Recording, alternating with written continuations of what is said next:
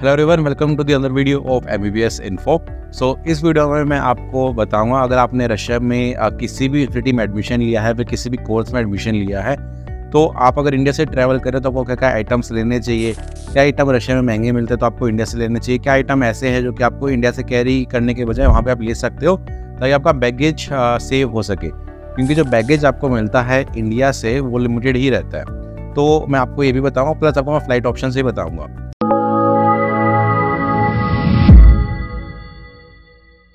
Hello everyone my name is Sachit and you are watching MBBS info so first year में हम जब भी अपने स्टूडेंट्स को सेंड करते हैं लाइक like, उसमें असिस्टेंस हमारी रहती है कम्प्लीटली तो हम सारी बच्चों की वीज़ा और ट्रैवलिंग हम मैनेज करते हैं ताकि एक स्मूथ ट्रैवल एक्सपीरियंस बच्चों का हो सके।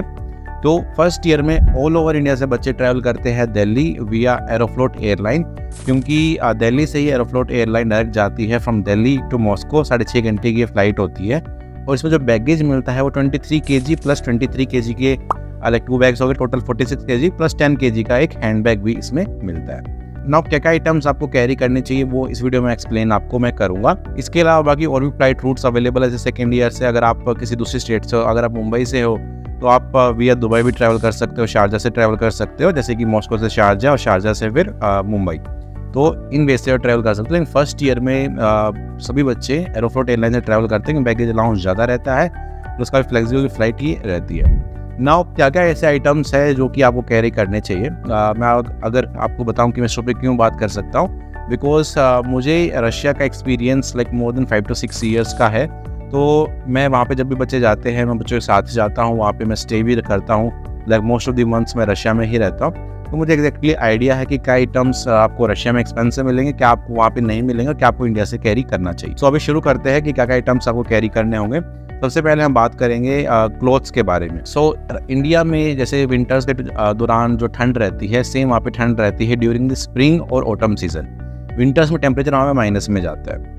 तो बेसिकली जब आप ट्रैवल करोगे अगर आप सितंबर या अक्टूबर या नवंबर में ट्रैवल करते हो लाइक सितंबर अक्टूबर में तो उस टाइम पे ऑटम सीज़न आपका होता है और टेम्परेचर अराउंड ज़ीरो से लेके पंद्रह डिग्री के बीच में रहता है। आज जो आप इंडिया में विंटर्स में क्लोथ्स पहनते हो आपको कैरी करना है और जब रशिया आप पहुँचोगे तो हम आपको जो जैकेट है और स्नो बूट्स है तो आपके जो रेगुलर क्लोथ्स आप इंडिया में पहनते हो, जो विंटर क्लोथ्स होते हैं तो वही क्लॉथ आपको कैरी करने हैं। रशिया से आपको बस एक विंटर जैकेट लेनी है जो कि अराउंड फोर फाइव थाउज़ेंड की आ जाती है। एक अच्छी जैकेट जो कि आपको काफ़ी ईयर्स चलेगी तो वो आप कैरी ले सकते हो, हम आपको दिलवा देंगे।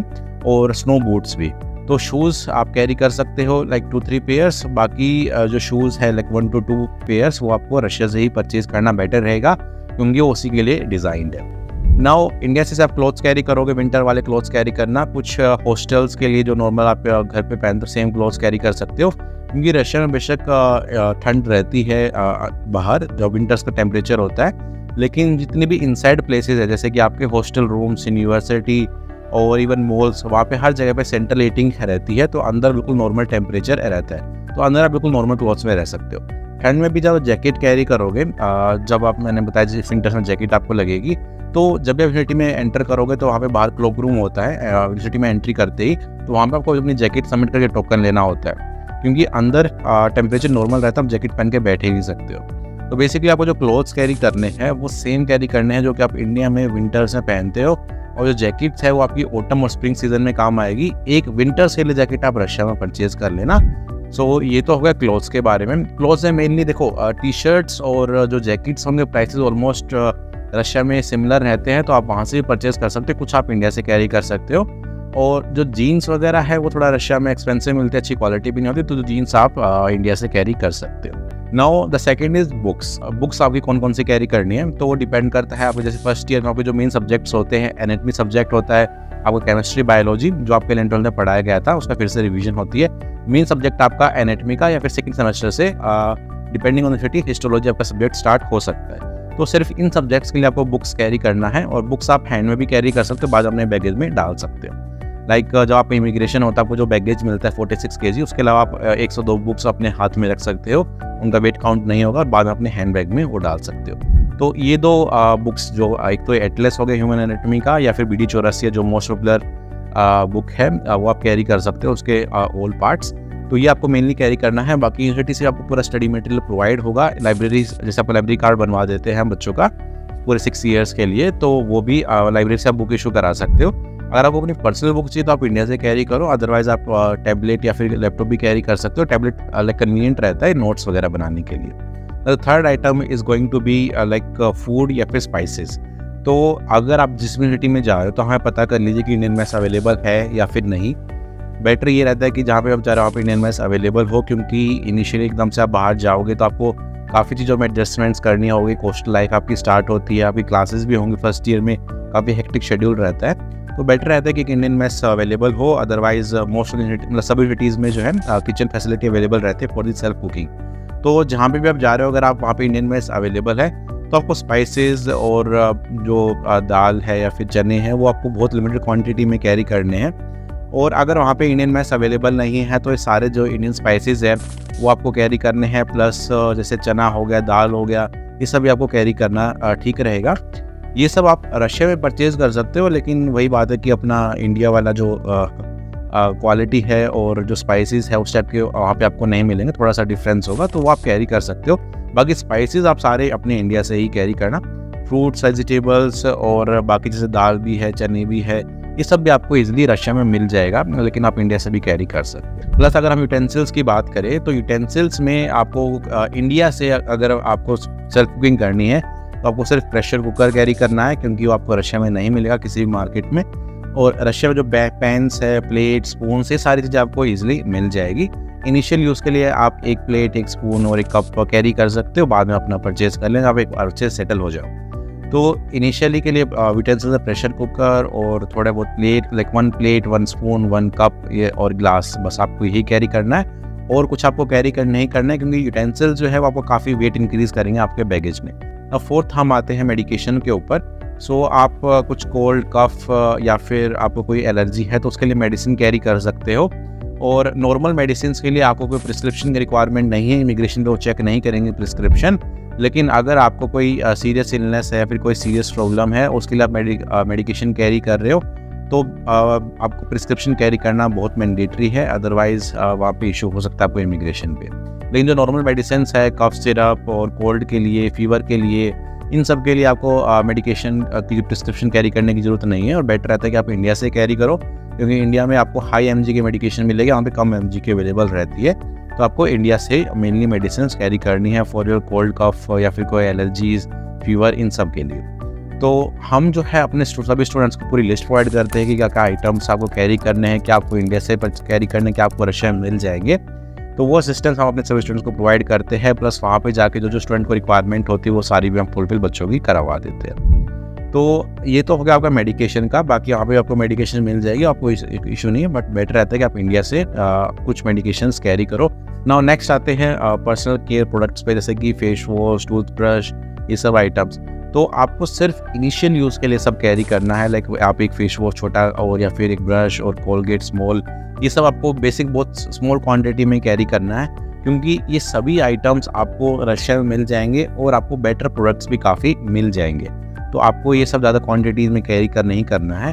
आपको मेनली कैरी करना है इंडिया से क्लोथ्स मेडिकेशन आपके कुछ, जैसे प्रेशर कुकर में कुछ स्पाइसेस हो गया, इस टाइप से आपको बेसिक चीज़ें कैरी करना है मेनली फ़ूड एंड क्लोथ्स और बुक्स आपको कैरी करना है। Now the next is personal gadgets तो काफ़ी स्टूडेंट में क्वेश्चन रहता है कि इलेक्ट्रॉनिक्स के जो आइटम्स है, वो आपको इंडिया से कैरी करना चाहिए, फिर रशिया से कैरी करना चाहिए। नाउ मेरा रिकमेंडेशन तो ये कि आप इंडिया से ही कैरी करो।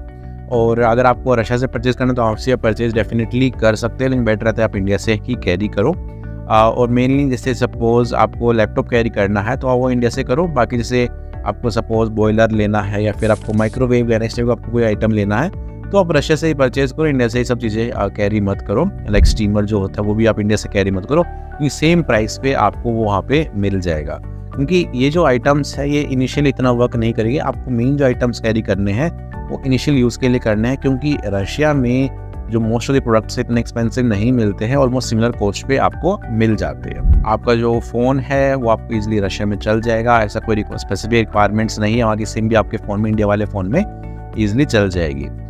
और इंडिया से अब आपको टिप देना चाहूँगा इंडिया से आप ट्रैवल कर रहे हो तो आपकी जो भी सिम हो तो वो आपको पोर्ट करा सकते हो एयरटेल में, क्योंकि एयरटेल का, जैसे मेरी भी एयरटेल की सिम है तो एयरटेल का नेटवर्क आता है रशिया में। अगर आप सिंपल वैलिडिटी का भी रिचार्ज कराते हो, तब भी तो ओटीपी अगर आपका आना है किसी बैंक से तो आप इजिली आपका रशिया में आ जाएगा without any international roaming recharge तो बेस्ट नेटवर्क जो है आपका एयरटेल का रहता है। तो आप अगर एयरटेल का है तो आप रख सकते पोर्ट करा सकते हो definitely now fifth now last आते हैं हम डॉक्यूमेंट्स पे कि क्या क्या आपको डॉक्यूमेंट्स कैरी करने हैं। नाउ फ़र्स्ट ऑफ़ ऑल आपको आपकी जो ट्वेल्थ की मार्कशीट है, वो कैरी करनी है।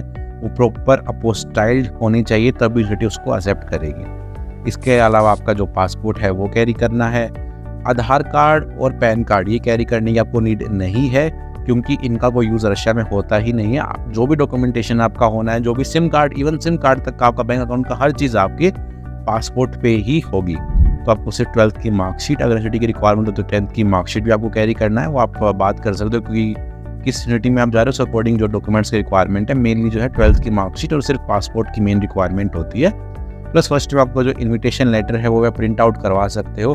इन्विटेशन लेटर बेसिकली जो इन्वाइट होते हैं यूनिटी की तरफ़ से, जो आपकी वीज़ा के लिए रिक्वायर्ड होता है। तो वो आपको कैरी करना है साथ में प्लस आपका एडमिशन लेटर भी आप कैरी कर सकते हो। इनके साथ इमिग्रेशन पे आपसे डॉक्यूमेंट्स मांगते हैं तो डॉक्यूमेंट्स आपके फ़ोन में या फिर आपके पास प्रिंटेड होने चाहिए कि आप किस पर्पज़ के लिए रशिया में स्टडी करने आ रहे हो। यूजली ज़्यादा क्वेश्चनिंग होते नहीं है इमिग्रेशन ईजिली पास हो जाता है but sometimes they do ask from the students तो उसमें घबराने की कोई बात नहीं है।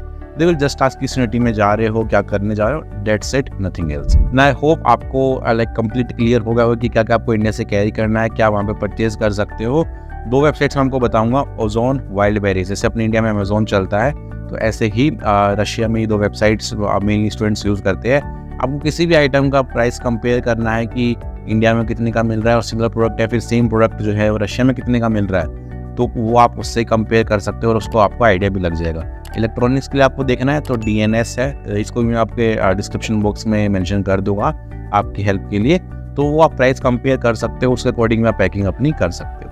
बाकी अगर आपको कोई भी डाउट है, किसी भी चीज़ के रिगार्डिंग कि क्या रेशम एक्सपेंसिव मिलता है क्या रेंज रहते हैं तो नीचे कमेंट बॉक्स में कमेंट कर सकते हो and we will be very happy to help you